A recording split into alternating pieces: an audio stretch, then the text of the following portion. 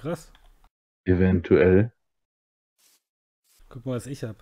Das ist ein menschlicher Knochen. Willst du dich wirklich mit mir anlegen? Ich habe menschliche Knochen dabei. Ich bin ein totaler Psycho. Ich muss weg hier. Hey, du hast Nocturne nicht gefangen. Ja, ich habe es nicht geschafft. Aber du bist gerade von meinem Witz weggelaufen. Warum? Du hast mich in der Fackel gehauen. Ich habe dir eine gefackelt. Hahaha. Ja, nicht schlecht. Ist okay. Kann man machen. Und warum hast du den jetzt nicht gefangen? Hat er dein Team K.O. geschlagen oder hast du keine Bälle mehr oder was? Ne, ich musste den Kampf beenden, weil es sich wieder aufgehängt hat. Ach so. Oh, dann habe ich es dir jetzt voll weggeclaimt. Tut mir leid. Ähm, Ne, alles gut. sicher? Ja, ja. Okay. Okay, dann gehört es jetzt mir. Ich wollte es eigentlich auch nur fangen, um äh, dir dann nachher, wenn wir beenden, so zu zeigen, so guck mal, was ich heute gefangen habe und bam, Nocturne. Ja, das wäre cool gekommen. Wenn es nicht mir gehören würde. Bah.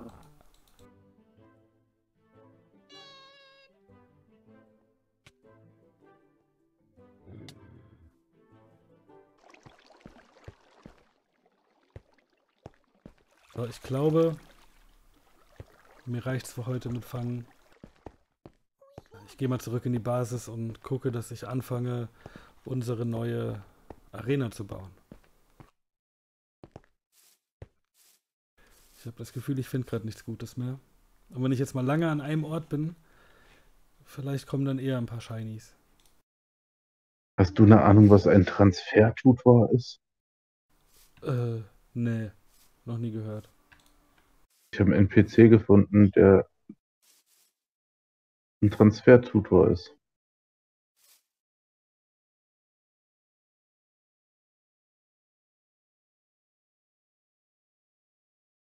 Ah, das ist ein Attackenlehrer. Ah, okay. Gegen Geld wahrscheinlich. Nee. Gegen verschiedene Sachen. Also jetzt, warte, ähm, wen könnten wir denn mal? Nehmen wir mal das äh, Pukita. Der könnte Himmelsfeger erlernen für zwei Amethysten oder vier Amethysten? Vier Amethysten. Oder, oder Elektrofeld für einen Goldbarren. Oh, das geht. Also das ist, es wird hier mit Dings bezahlt, mit Minecraft-Items. Oh, cool. Ich glaube, ich mache mal hier einen Bot hin, falls es mal irgendwann relevant wird oder so. Aber der bleibt da nicht für immer, oder? Das ist doch nur ein NPC. Ich weiß nicht, das werden wir beim nächsten Mal sehen. Der despawnt mit Sicherheit. Also beim nächsten Mal, wenn wir dran denken. Wenn du mal deine Spawns durchguckst, was du so alles hast, und dich fragst, was ist das?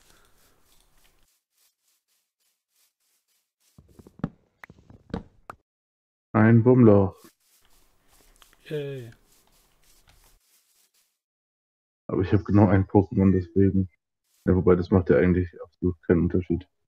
Aber ich habe nichts, um mich hochzubauen. Ja, Pokebälle, also da sollte man schon besser vorbereitet sein für. Gerade wenn man so einen Ultra Beast findet, wäre cool, wenn man ein paar Bälle dabei hat. Ja, Bälle habe ich, nee, ich habe keine Blöcke, um mich hochzubauen. Um mich da reinzubauen. Ah, okay. Ja gut, das ist auch unpraktisch. Bei Minecraft spielen und keine Blöcke dabei haben. Was denn das? Hast eigentlich schon recht. Aber es ist schon wieder weg.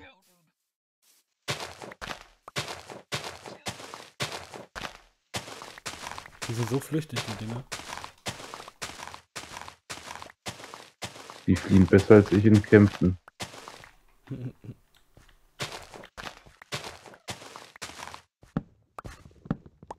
So, hab mir jetzt mal ein paar Erdklumpen noch abgeschlagen.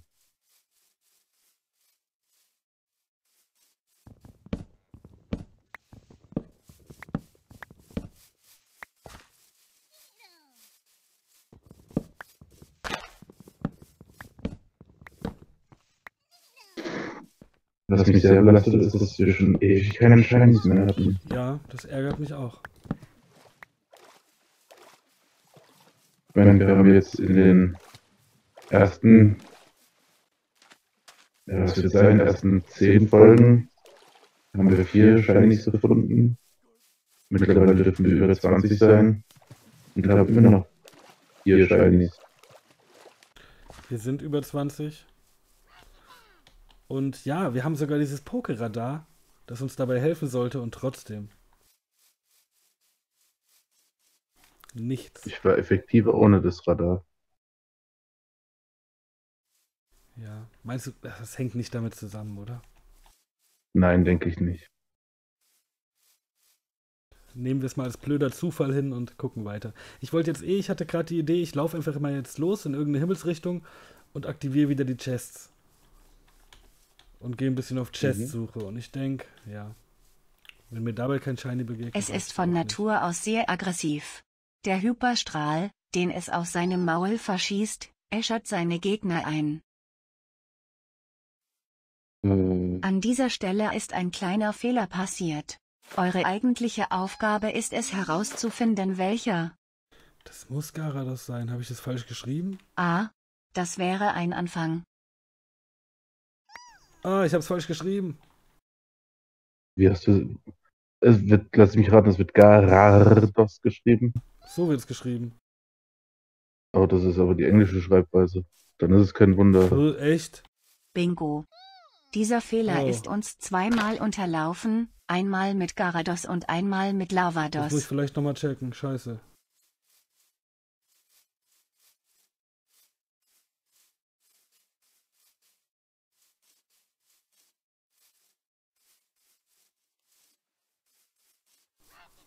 Erinnere mich später mal dran, dass ich da nochmal drauf schaue. Das kann ich wieder selbst nicht merken, wahrscheinlich. Das wäre doof, wenn es den Fehler öfter gibt.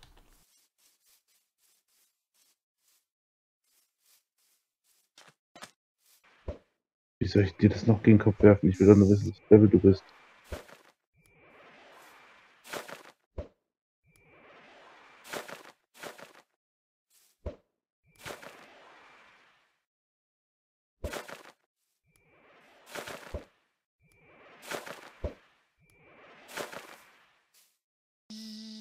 Ach, dann lass es doch.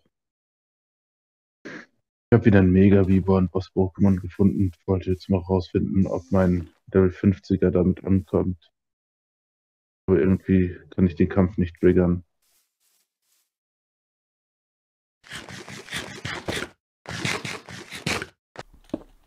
Ähm, du kannst den Kampf triggern, indem du V drückst. Wenn dein Pokémon draußen ist und du das Pokémon anguckst, das du angreifen willst und dann V drückst. Hatte ich probiert, hat nicht funktioniert. So geht auch nicht, okay. Den Trick hattest du mir das letzte Mal schon mal gezeigt. Deswegen habe ich es direkt ausprobiert. Okay, das sollte so nicht sein. Uh,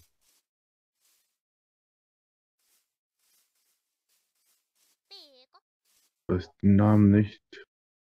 Weiß den Namen nicht, aber es sieht so aus, als will ich es haben.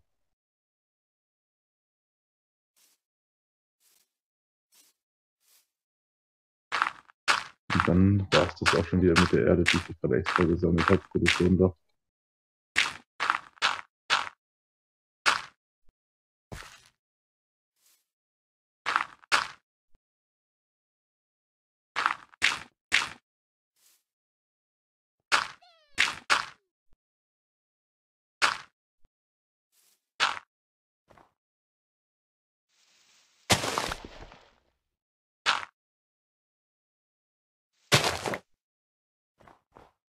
Du, bitte sei nicht gespawnt, gespawnt, weil ich zu lange gebraucht habe.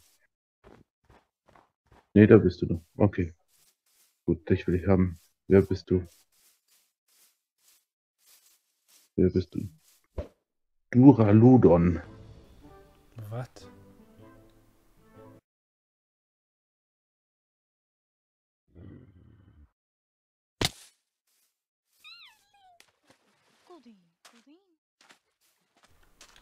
Oh, ich bin an der Master Chest dran. Ah, hast wieder mal die Kisten angemacht und schon läuft's. Ja.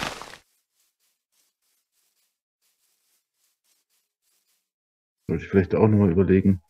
Ich gehe jetzt auf Kistensuche in der Hoffnung, dass ich ein paar Shinies finde.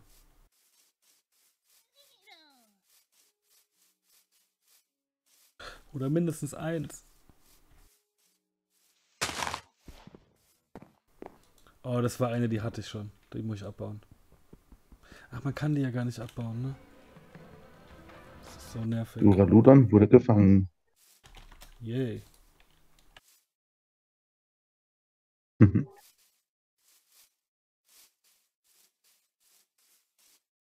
Das klingt nach einem Dinosaurier-Pokémon.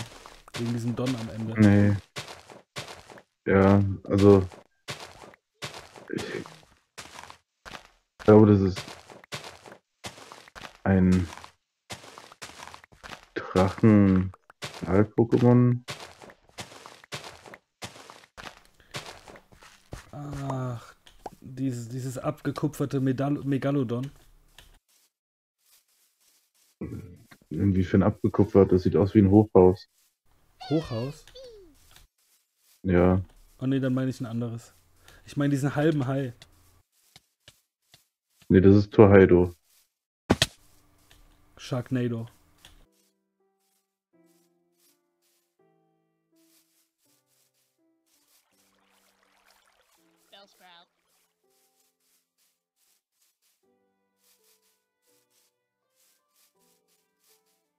Das ist ganz komisch, nochmal zurückzukommen auf das Quiz von eben mit deinem äh, Garados. Äh, weil wir hatten ja schon jetzt diverse äh, Quizzes, Quizzes, wo dann auch zum Beispiel Tauboga und sowas kam, die auf Englisch komplett anders heißen. Nein, nur zwei Einträge sind Englisch. Ihr seid einfach nur dumm.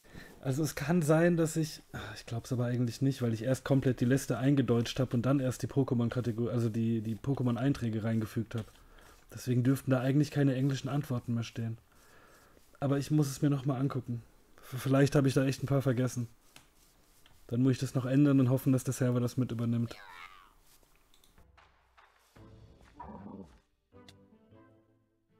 Dann haben wir bestimmt schon einige andere Quizzes auch schon gelöst. Aber wir haben halt die deutsche Version reingeschrieben. Richtig. Habe ich mir auch gedacht, das kann gut sein. Nö. Nicht ein einziges Mal. Deswegen waren manche auch so übertrieben schwierig.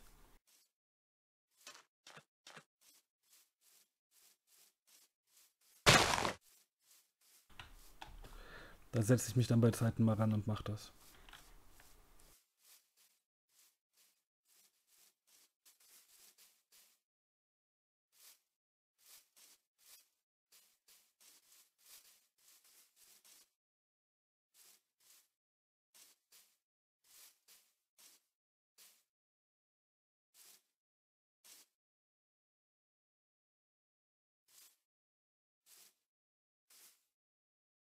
Was veranstaltest du schon wieder im äh, Kreativmodus? Ich wechsle jetzt immer hin und mache die Pokebälle kaputt, damit ich weitersuchen kann.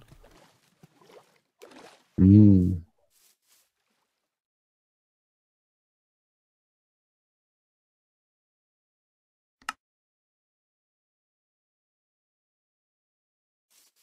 Oh, perfekt, ey. Ich will hab so ein Glück.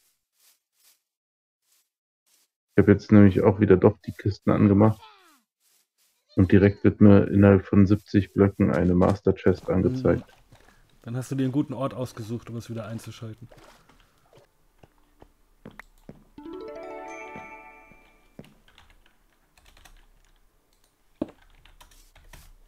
Eine Fähigkeitskapsel.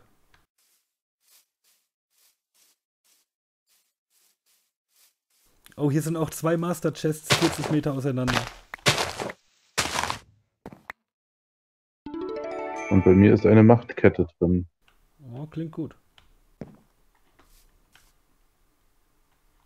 Aber ich weiß nicht, was es ist.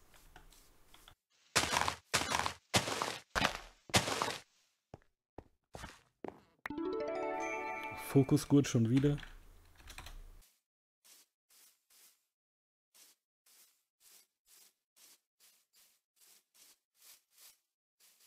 Ja, super. Und jetzt wird mir wieder die Master Chest die ganze Zeit angezeigt. Ja, da machst du doch auch so Nee. und bau die ab. Nee, ich habe einen Pokéball gefunden. Der hat dem Radar wieder einen neuen Impuls gegeben. Okay. Ein Premierball. Mentalkraut. Klingt trippig.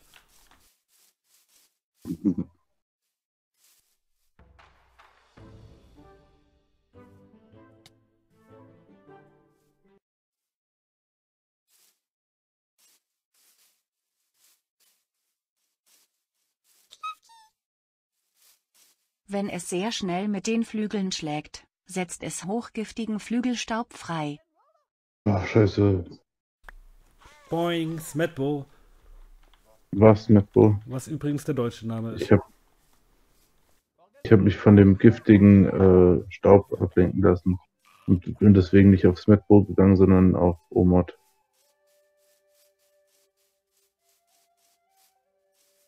Ich wollte eigentlich erst Pudox schreiben, aber falsche Generation. Das sagt mir nicht mal was. Pudox? Mhm. Kenn ich nicht.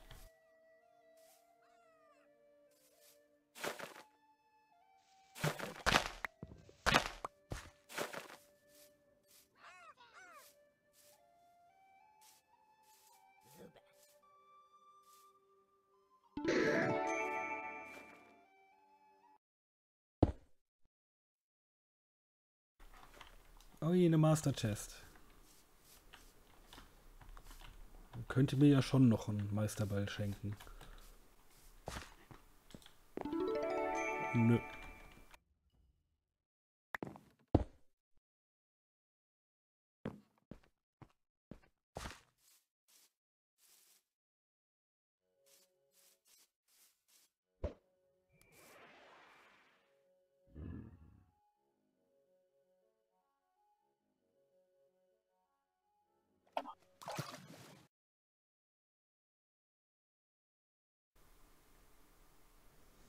Maulwurf-Pokémon.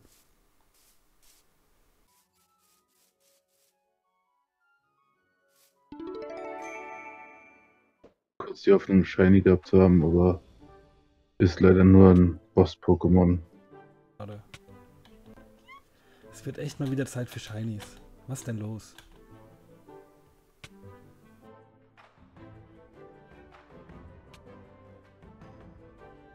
So, erstmal den Boss geplättet. Einen Superschutz bekommen. Hm, nicht schlecht. Hast einen Boss platt gemacht. Ja, das war Level 60.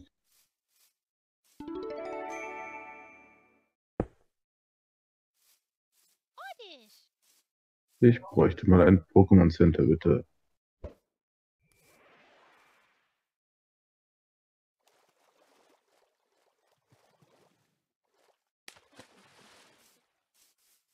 Ui, das ist eine tiefe Schlucht.